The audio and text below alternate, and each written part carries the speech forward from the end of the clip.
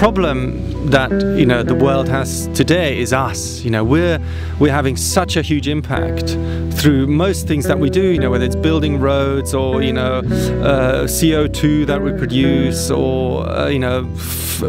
Uh, raping our oceans, etc. The impact is just so big that you know the planet is having a hard time coping with it.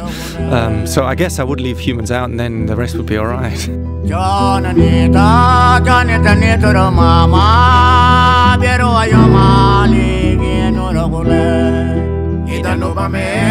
Well, I'm a biologist, and when I was um, studying biology in first in Oxford and then in Cambridge, I realised that there's lots of people you know, out there who want to do more than just roast on the beach and um, in their holiday time. And also, I realized that well, there's lots of scientists with interesting projects everywhere, and the two things they usually lack is manpower and funding, and that's exactly what Biosphere brings. So it enables ordinary people to come in their holiday time, work with scientists around the world on their projects, and through their expedition contribution, it funds the project, and um, you know they put in the labor and they help tracking cheetahs or you know capturing uh, on camera trap snow leopards or uh, photographing whales, whatever we do do with the scientist.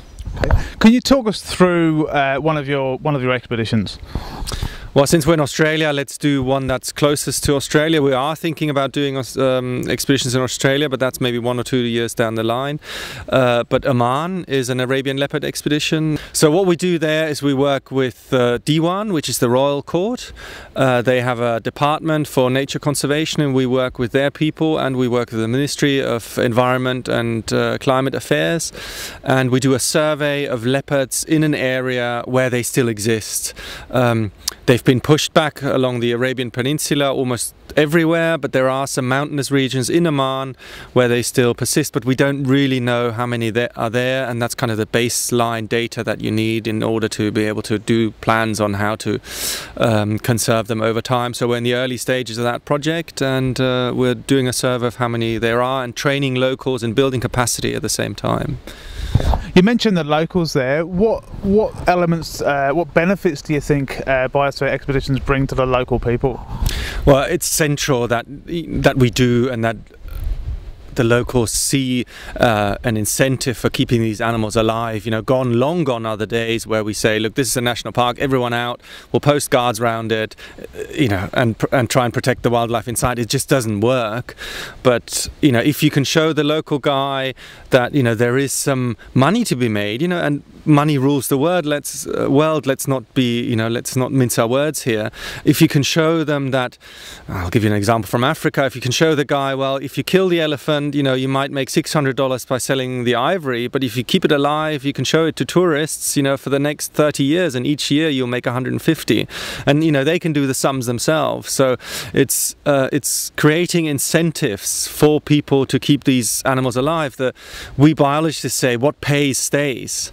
Um, so in Oman for example we're thinking of ways of doing um, creating incentives for people uh, setting up a program where they can show the animals to tourists that come along. There's a research center that we're involved in uh, setting up and a, and a visit, visitor center.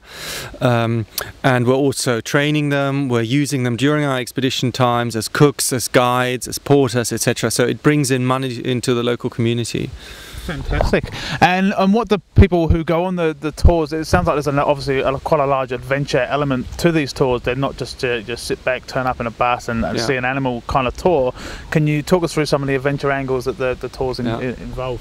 Well, in, we actually don't call them tours for that very reasons. We call them expeditions because, you know, our tagline is experience conservation in action. So it's not getting on the bus uh, and being spoon-fed lions on the savannah with all the other tour buses. It's it's about having a project there. Your primary reason of being there is helping the local scientists conduct this project. And the beautiful thing about biology is is that a lot of it is stamp collecting, and by that I mean it's simple tasks that people need to do and that they can do without being biologists, but it's someone's got to do them. There is no satellite technology or whatever that can tell you look for uh, Arabian leopards in Oman, look for snow leopards in uh, in Altai, and tell me how much uh, how many there are. That, that technology doesn't exist. It needs bodies on the ground, walking the trails, talking to the locals, looking for the scratch uh, marks, looking for the scat, looking for the tracks, looking for the animals themselves, putting up camera traps, photographing them. You know, it's extremely labor intensive, but it's easy to learn. It's easy to learn to recognize a track. And if you're not sure, you all have, when you're out in your small groups, um, digital cameras. The scientist won't be with you all the time because uh, he might be with another group.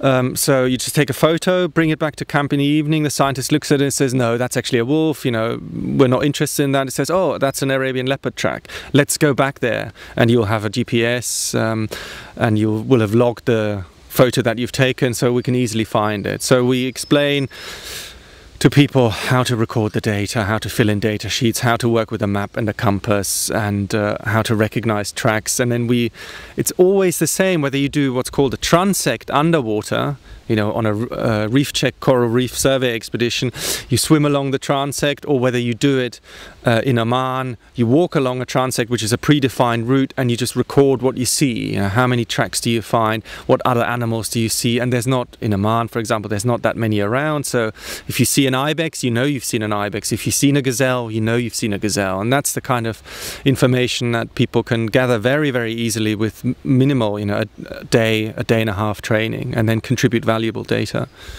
Fantastic. So there's a large element of, of, of trekking and, and forward driving. I would imagine. How how fit do people have to be to go on the, the expeditions?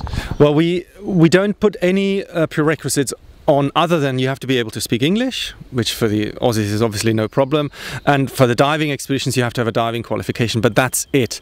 Um, there's no fitness qualifications, and by that I mean that we have so many projects uh, that there's something for everyone. You know, we've had people in wheelchairs on our Azores expeditions, which is mainly boat-based, where we work with whales and wolves. Uh, sorry, whales and dolphins. Um, and we've had, uh, you know, people hard of hearing. You know, people from you know 18 or 16 to think the oldest was 87.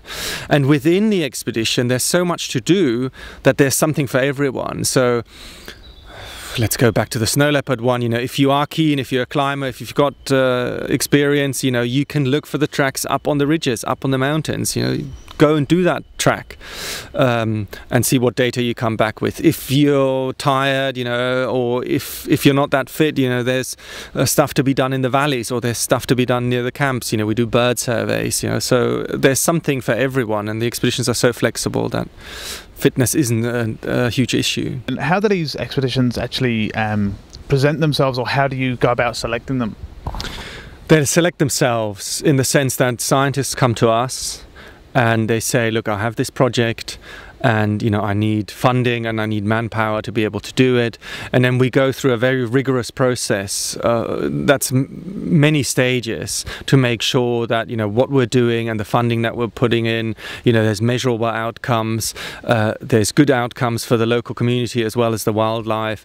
And it's a it's a fairly involved process and you know, if we get 50 applications a year, only one or two of them actually make the grade. So it's basically self-selected.